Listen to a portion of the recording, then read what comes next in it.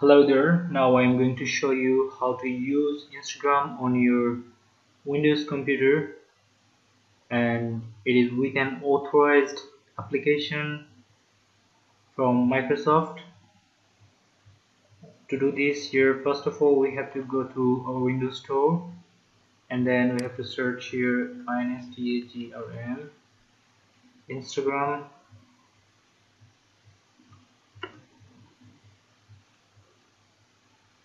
okay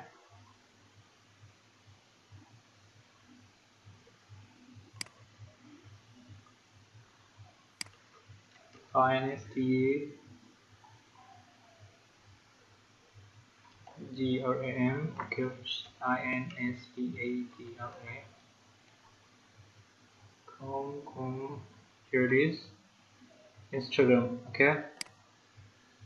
And then you just have to install it on your computer. To install you have to click on get.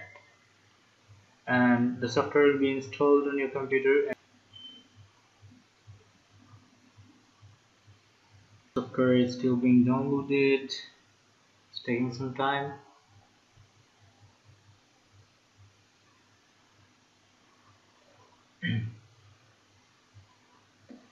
okay it's almost been downloaded and now it's being installed. Okay just got installed. Check it out. Here it is. Here is the notification. I'm going to click here on launch. And boom the software will be appeared here. Okay so instagram sign up to see photos and videos from your friends. Okay so the software is ready to use. Now you can sign up from here by email or by phone number by using phone number or by using email address. And then you can use it uh, as usually you do on your phone. Okay?